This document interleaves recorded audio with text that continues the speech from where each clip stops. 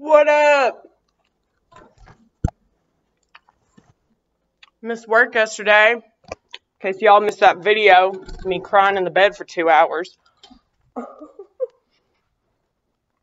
that was a fun video. It really was though. About a lot of shit that mattered to me.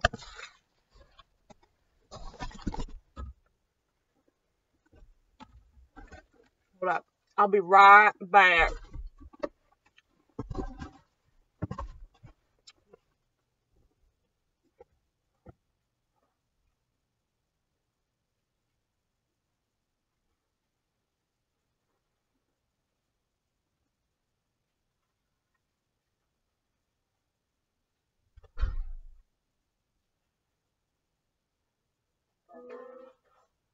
Oh my god. You did not. I did. Oh. You fucking asshole. I'm so mad at myself right now, you guys. I'm so mad. In case y'all don't know why I'm mad, because as you've probably already figured out, we have anger problems. So I left my keyboard on all goddamn night. Again.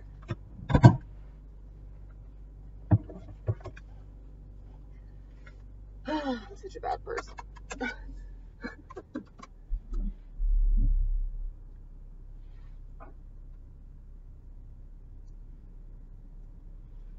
you know, I was just thinking I really need to get my insurance before I go down to Atlanta. yeah, you do. Jesus Christ.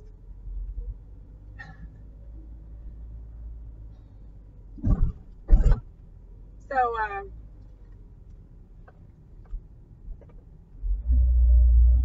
yeah, I missed work yesterday because my anxiety was like through the roof.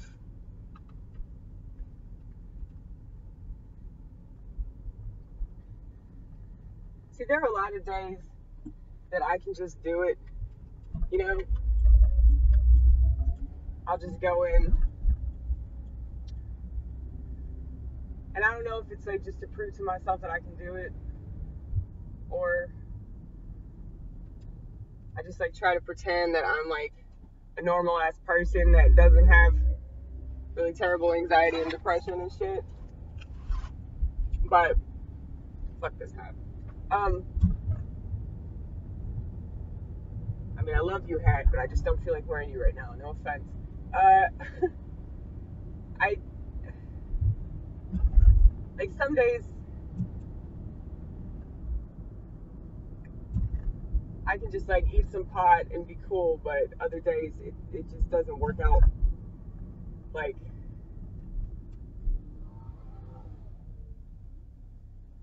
I guess like for the same reason that I stopped taking my medication. Like when I'm really, really upset, like I can't just get high and forget about it. You know? I realize that because like a lot of people think that like I just I'm a control freak, so I just choose marijuana. Like I'd rather trust myself than a fucking doctor. Duh. Doctors don't know anything, especially not about borderline personality disorder.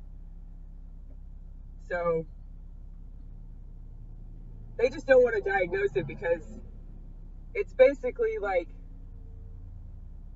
a pretty shit end of the stick, you know?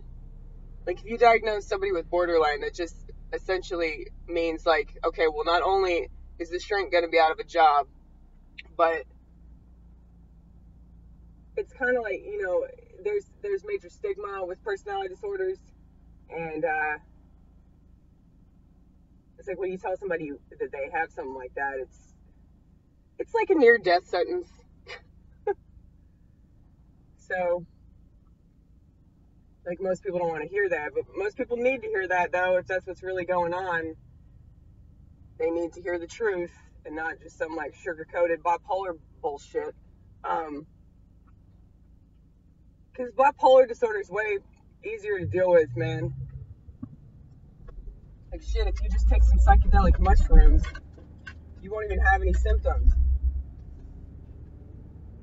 I don't understand why people wouldn't want to do that. Why they'd rather just be on medication every fucking day.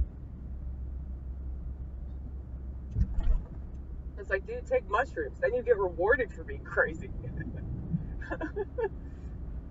uh, but anyway.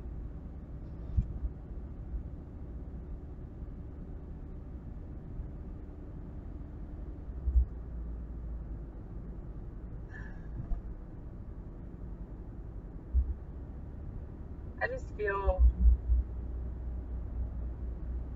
like a total loser sometimes. Like yesterday, I felt like a total loser. Even though in that bed, I was a star.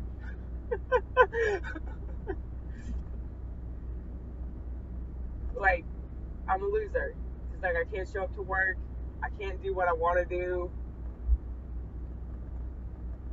Can't make it out to comedy. I can't promote myself. It's just there's so many things that like I'm just not I'm not like you, you know? Or you or you or you or you watching. I'm like that weirdo motherfucker that's watching, going, man, I really relate to this crazy shit.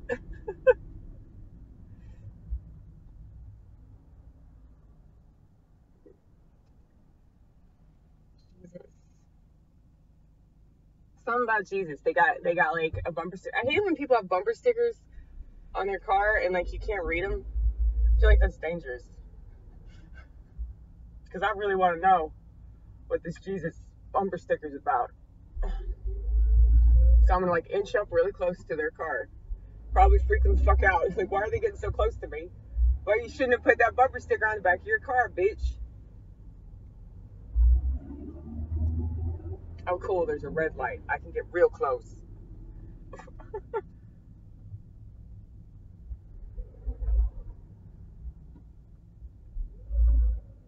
you were so fucking close to them. It's so funny.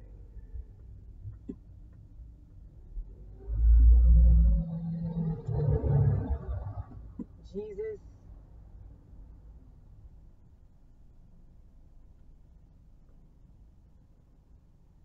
Helping in Jesus' name.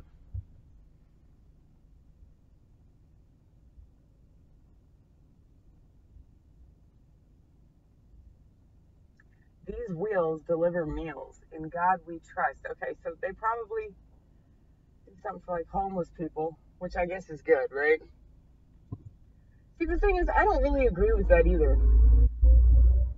Because I feel like you're just being like a good person because really want a sofa in the kingdom of heaven. You know? Like, feel like that's rude. It's condescending. If anything, it's condescending. You know, because like you make it seem like you're doing it out of like the goodness of your heart that you're just a really great person that thinks about other people that struggle more than you do. But it's like, no, you're you're still doing it because like you want brownie points with the Lord. Like, I don't think that's noble at all. If anything, that seems more like ass kissing. Anyway. you are so like so right. You were so right about everything. I am now. I really fucking am.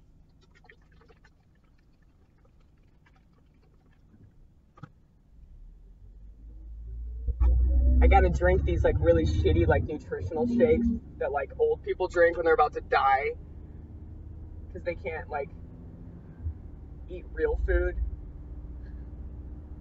Like I just this is what I'm talking about. Like I'm really self-destructive.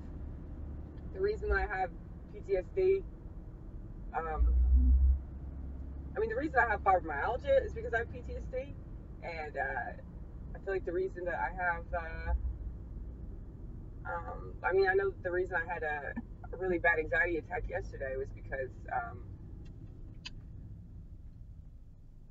I didn't eat like when I'm really emotional, I'm in my head, I can't fucking eat. It's like I can't take a shower. Sometimes I can't sleep. Other times, that's all I can do is sleep. It's it's weird. But I realized that this wouldn't be as real. Like, I don't think that my comedy would be as good if I were on medication or like if I were like a healthier, less self-destructive person. I don't think it would resonate as much. I don't think that I would need to do it as badly as I do. Jesus Christ, man. Don't you hate it when you're just waiting a light and it like nobody from the other side is coming, but it's like the light's still red? And so like everybody's just waiting like anxiously, angrily.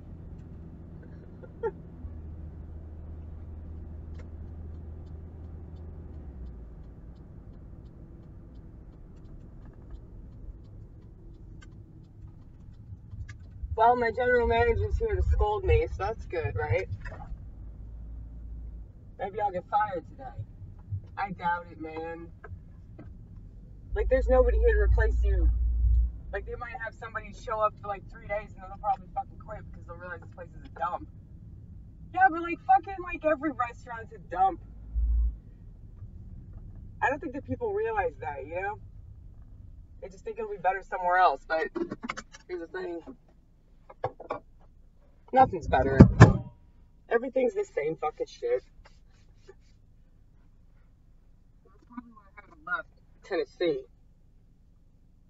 Because I just keep telling myself that this kind of matches. Kind of, not really.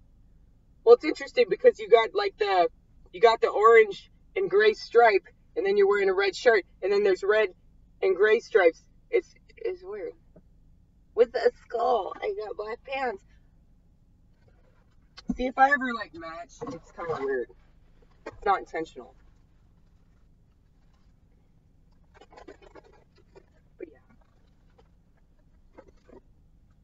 I think yeah, the reason I haven't left Tennessee is because I just I, you know I mean that that costs money to do that when I could just live in my head, that's free, you know? Imagination? Fuck yeah.